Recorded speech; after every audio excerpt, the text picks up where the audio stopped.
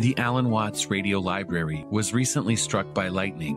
While none of the original recordings were damaged, several apparently new Alan Watts lectures appeared spontaneously in electronic format alongside the original lessons. We now present these new recordings of philosopher and teacher Alan Watts that materialized 45 years after his death in the only way we know how to present them, broadcasting these lectures on Pacifica Radio at random time slots between the hours of midnight and 7 a.m. when you happen to be the most stoned.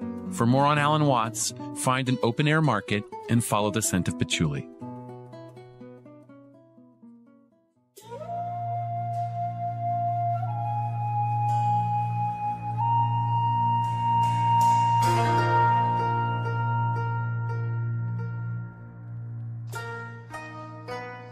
When we really look at love and we look at companionship, what we find is that love is desired. Generally, those who fall in love, they enjoy it. That's why we seek love. It reminds us of the gratifying aspects of being alive. It reminds us that our lives are enriched when brought together with another. And so the absence of love feels like loss. As shadow feels like the absence of light, and you feel cold when heat no longer warms you. And some fall into the trap that is encouraged by some thinkers in the church by some contemporary philosophers, by some thinkers on the internet, that to be without love is a fate worse than death. and you see them.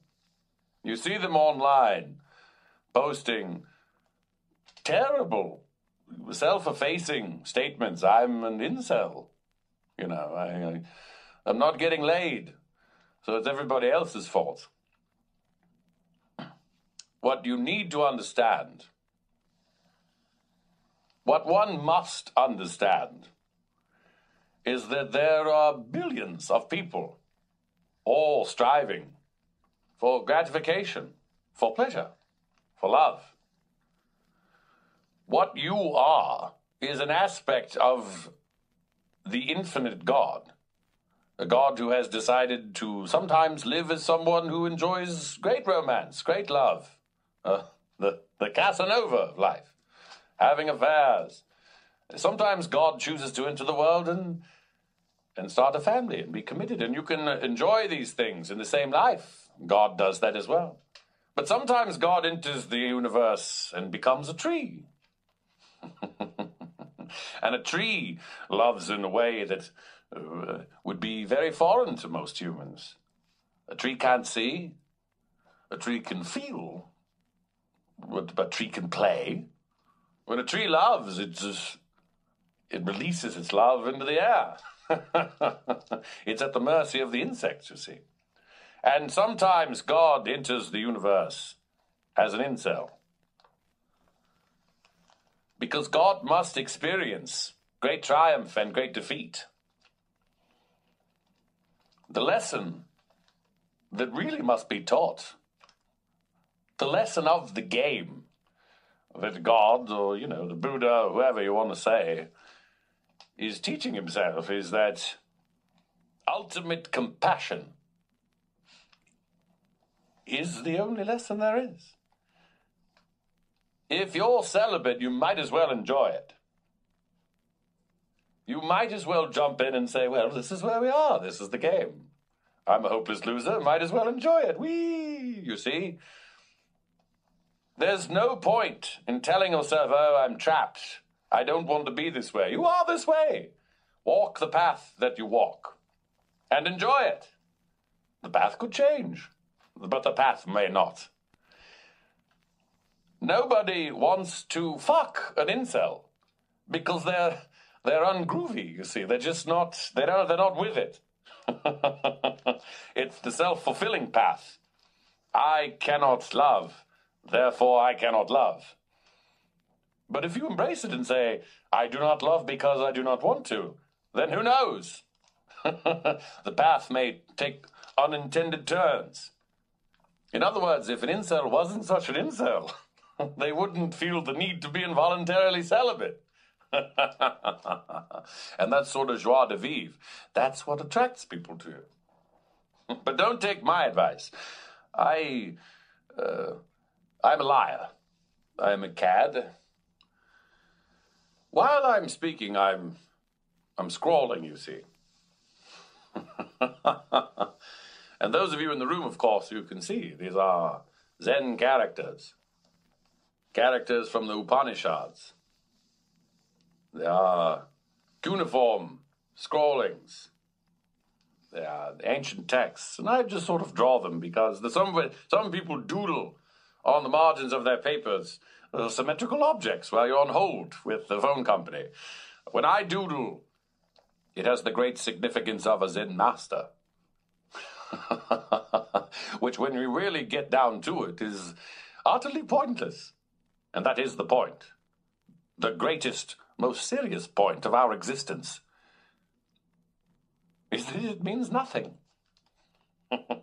it's all a game, you see. The reality that you know is the reality that you have been conditioned to understand as real. But when you take a look at it, when you really look at it, when you put your glasses on, or when you take them off, or when you squint your eyes, you know, in a spiritual sense, what comes into focus is that nothing you know is real. You might say, well, that's not true. I, I put my hand on the stove and it burns. Why, yes. But the sensation is not there because you aren't there. If you're burning yourself on a stove, there's merely billions of molecules that have decided or been forced to hurt themselves. so you might as well barbecue it. Roast your hand on the stove. It's not real. You might as well cook your hand. If you don't like eating meat, you can throw it to a dog. The dog is not real either. But if you're going to burn your hand, you might as well not beat yourself up about it. Say, I'm burning my hand. Everything dies. All things die. Death is part of life, you understand. I'm now drawing the character of infinity, which is the same character as nothing, only doubled over.